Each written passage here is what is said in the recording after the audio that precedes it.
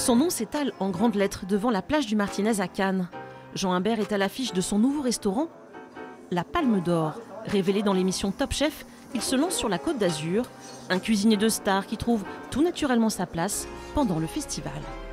On a le président du jury qui, vient souvent, donc euh, il était encore là à manger sur la plage hier, entre deux films j'imagine.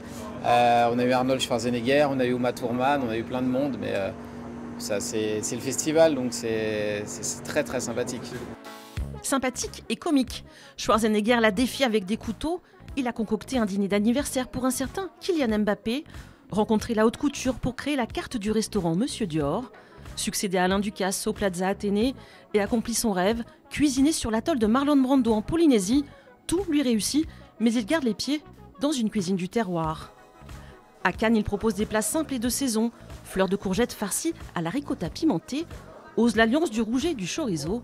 Sa brigade, il l'a formée à Paris et pendant deux jours pour expérimenter ses recettes à sa façon. J'ai appris en fait son, son, univers, ce qu'on voulait amener par rapport à sa, vision des choses, ce côté très méditerranéen qu'on voulait apporter ici par rapport à, comme on peut le voir, la mer juste derrière nous. Un décor de rêve, une success story à la française, mais ne lui dites surtout pas que son ascension est fulgurante. J'ai commencé à cuisiner chez mes parents à 12 ans, ça fait donc 30 ans que je fais de la cuisine. J'ai commencé à l'école Bocuse, j'avais 17 ans, c'était il y a 20, 24 ans. Donc euh, oui, il y a eu euh, euh, d'autres choses entre temps, mais genre honnêtement, je, pense voilà, on, avance, on est heureux, mais il y avait surtout beaucoup de travail, je pense.